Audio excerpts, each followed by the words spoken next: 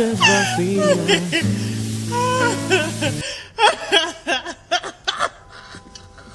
Resist the urge to call this a cliche. Age seven. I'm standing in front of the mirror, uh, deconstructing, my favorite Barbie, doll, And I color her color her brown, brown with, a magic, marker. And, I cut her pretty blonde, hair, hair till it's as short as it's mine. as short as mine. And of But course, of course she's she's ugly ugly now. so I strip her of all her clothes. So I no stripped her of all her clothes. I decapitate her. she has no coochie. And I wish for a brand new pair of her. jeans and pull her plastic And legs for a brand so new far pair apart jeans and spread that one of them springs out of my hand and legs hits the so mirror. far apart that one of them springs out of my hand and hits the mirror. and there's a small crack in my reflection. and there's a small crack in my reflection.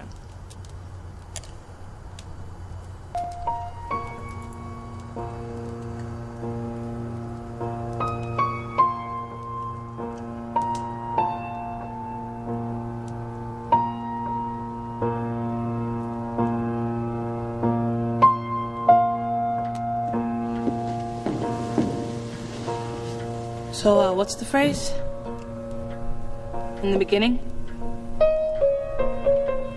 Uh, in the beginning, there was a mirror. A family heirloom passed down from generation to generation, woman to woman, mother to daughter. December 25th, 1865, seven days after the 13th Amendment is passed, my great great grandmother's house mistress uh, says Merry Christmas. Merry Christmas! She's just been officially emancipated. and she gives my grandmother a mirror as a farewell gift. It's thin and long with chubby white angels all around the hand carved ivory frame. For great great grand, this mirror represents freedom and self ownership. Raceless, sexless, nameless. me, me. Uh, it's a symbol of my career as a slave. Self loathing. But I didn't know that at first. Of course, you never do. I was an infant, and I saw my reflection, and there was no beauty or ugliness. Uh, there was just me. Uh, raceless, sexless, nameless me. Raceless, sexless, nameless me. Just me standing across from me, looking at myself. That's a powerful moment. Bing. Awareness, self recognition. I am separate from, but connected to the people I, real. see. I am I am visible and real, from. but connected to the other people I, can almost see. remember it. I'm visible But, you know, you and get older real, and it gets more complicated. I can almost remember it. Age five, uh, my father has just slapped my hand away from the stove, and I'm standing in front of the mirror, you know, crying, staring, fascinated. You know, who knew my face could make such diverse contortions? You know, my my lips are trembling, and my my eyes are red, and my face is shiny with tears. Oh, I'm like clay.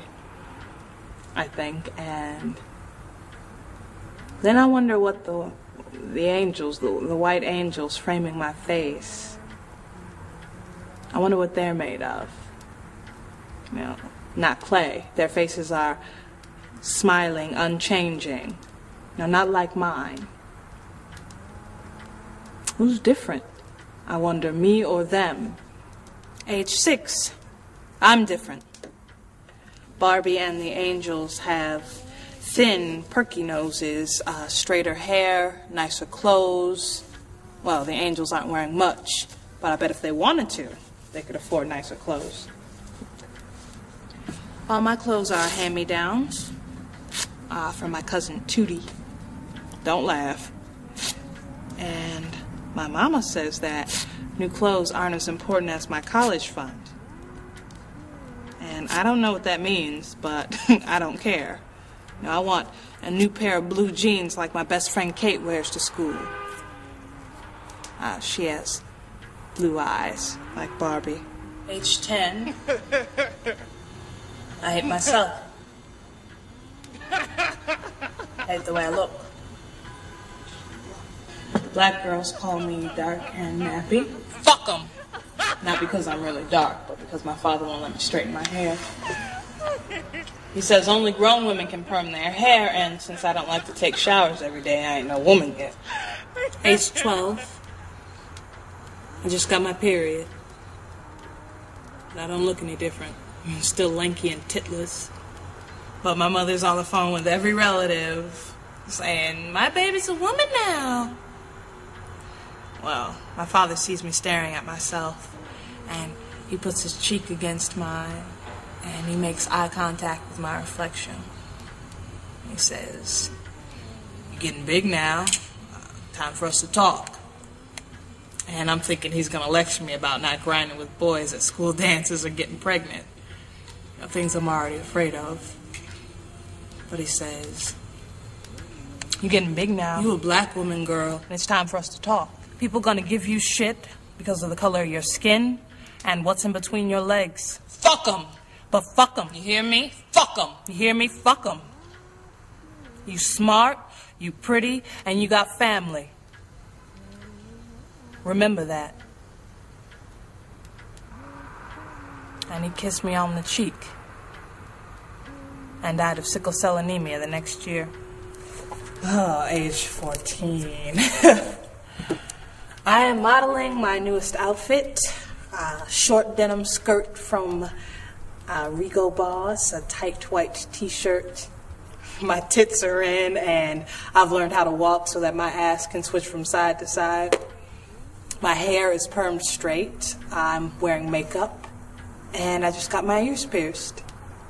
And our black men, they whistle on the street now when I walk by on my way to school, and they say, Hey, Mama. Hey, Mama.